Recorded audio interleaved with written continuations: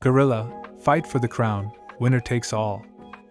Meet the silverback gorilla, an alpha primate known for its dominance. But why do they fight? Let's dive in. Silverbacks use fights as a display of power. It's their way of keeping order within the group. These battles aren't always physical. Often, they're more about intimidation and posturing.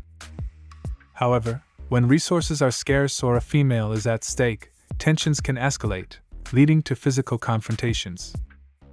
Despite the violence, these fights are crucial for a silverback's survival. Being the alpha male means keeping their bloodline going for generations to come.